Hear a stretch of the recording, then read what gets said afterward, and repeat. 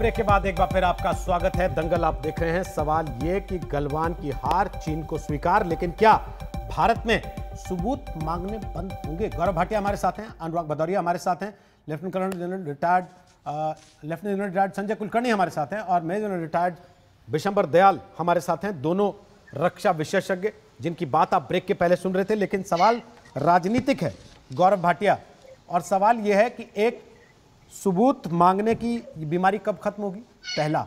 और दूसरा, अभी आधा काम हुआ है, बाकी आधा बाकी है, जिसमें डेप्सांग और बाकी के हिस्से चीनी सेना से खाली कराए जाने हैं अभी।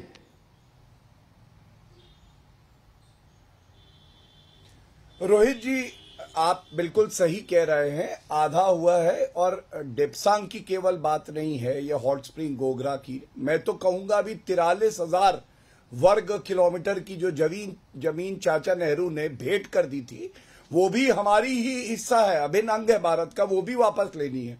और ये देश जानता है कि श्री नरेंद्र मोदी जी के नेतृत्व में ही वो वापस आएगी, यही हम आशा करते हैं और हमारे पास वो सेना भी है। लेकिन आपने जो बड़ी बात कही, वो मैं ज़रूर उठाना चाहूँगा।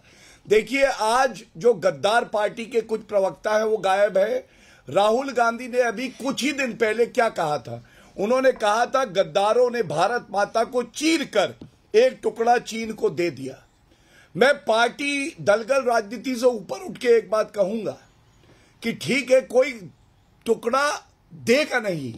ठीक है, चाचा नेहरू से नहीं संभाला गया, वो अलग बात है। लेकिन आप नरेंद्र मोदी जी के लिए ये शब्द कहते हैं। हुसैन दलवाई ने क्या कहा था? आपको मालूम है, रोहित जी, हुसैन दलवाई कांग्रेस के ही एमपी हैं। उन्होंने कहा था कि कोई चीनी सैनिक नहीं मारा गया। मेरे हाथ में एएनआई की रिपोर्ट है।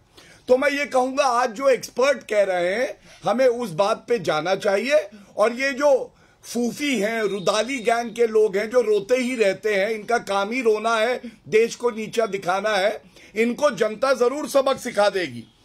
एक बात और कहूँगा, एक बड़ा बदलाव जो आया है, नरेंद्र मोदी जी ने सुनिश्चित किया है कि हमारे सैनिक के पास बुलेट प्रूफ जैकेट हो। रफेल जेट आ गए, अपाची और चिनूक आए, और जिस तरह से बॉर्डर पे इंफ्रास्ट्रक्चर बना है, ये पहले कभी नहीं बना है।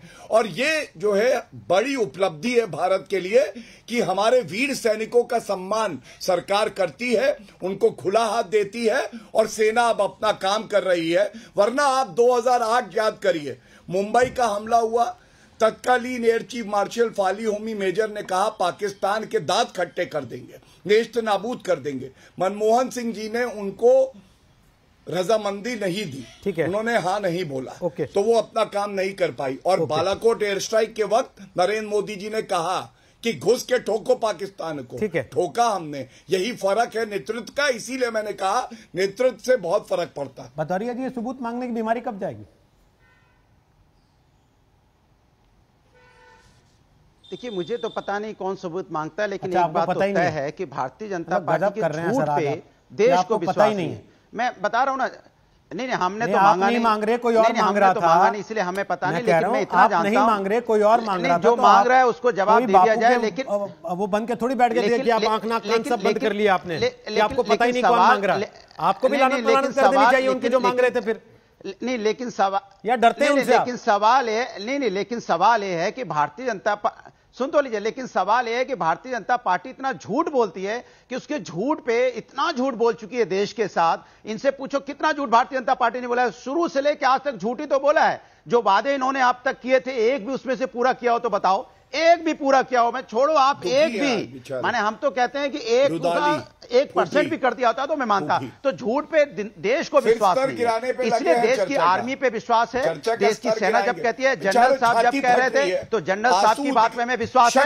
इन्होंने दो करोड़ रोज़गार देने की बात की थी जो दो दो करोड़ रोज़गार इन्होंने नहीं, नहीं दिया। इन्होंने बोला था हम आएँगे फाइव? ट्रिलियन इकोनॉमी कर देंगे जिन्होंने नहीं किया माइनस ट्वेंटी फोर की जीडीपी हो गई। इन्होंने बोला पर किया नहीं इन्होंने बता रहा हूँ इन्होंने किया नहीं। इन्होंने था महिलाओं पे अत्याचार खत्म हो जाएगा जो रोक नहीं पाए अत्याचार तो पे बहस होती है पेट्रोल डीजल पे बहस होती है। आपकी पार्टी आपको नहीं भेजती मैं क्या करूँ सर?